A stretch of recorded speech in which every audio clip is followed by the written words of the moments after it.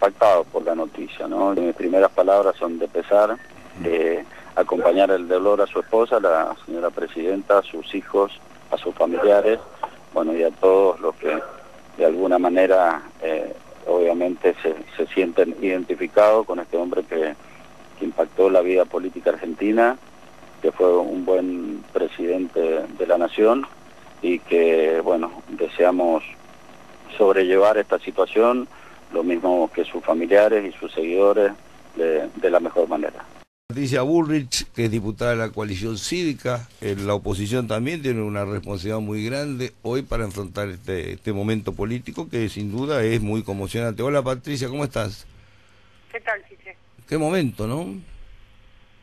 Sí, sí, sobre todo nosotros queremos plantear que acompañamos a la presidenta en este momento tan tan difícil, uh -huh. a su familia y, y, como fuerza institucionalista que somos, eh, que la presidenta tenga la fuerza y, y, todo lo que necesita para cumplir su tarea, ¿no? En este esta situación tan difícil, en una eh, pareja en la que compartían absolutamente todo, así que... Claro, teniendo en cuenta eh, que es una sociedad no. política, aparte de un matrimonio de décadas, ¿no? Digo, es un tema complicado para la Presidente, ¿no? También.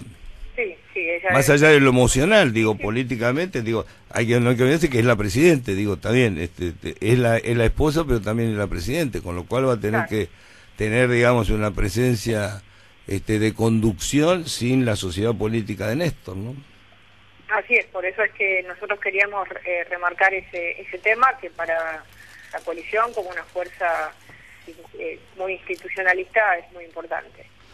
Bueno, Patricia, este, ¿sabes algo de, de, novedades que haya? Si van a velarlo acá o Calafán no, no, no, no, no, no, estaba escuchando al vicepresidente, uh -huh. eh, así que no, todavía no tengo ninguna información más que la que están saliendo en los medios. Bueno, Patricia, te mando un beso, hasta luego.